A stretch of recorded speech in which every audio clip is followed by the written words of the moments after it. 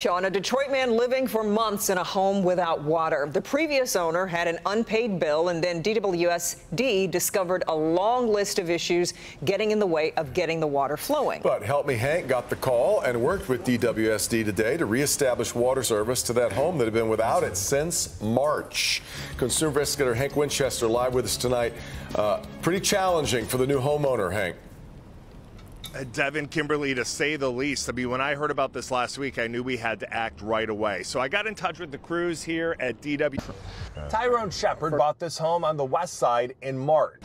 He's been living here ever since and without any running water. Horrible, you know. I, you know, I can't bathe, can't brush my teeth. Things have gotten so bad. Go to my cousin's house to use the bathroom. It's, it's been horrible. So what's causing the big delay? Well, first problem, the previous owner had an outstanding balance. Once that got cleared up, DWSD had crews out here trying to turn the water on, but there were a variety of issues. And then things started to stall.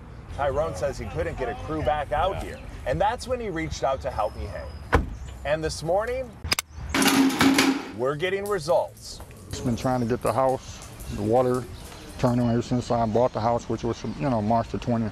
DWSD back at this home, turning the water on once and for all. Because a lot of times when you're buying a home that has already, you know, been owned by somebody else and has been vacant for a number of, you know, years or months, things happen um, to the home, and we, we, need time to get out there and inspect it. Sometimes we just can't do things, you know, same day. We have to have MISS DIG come out, mark off, so we, you know, our crews are safe while they're there. I would feel great once the water is turned on. Yeah. You know.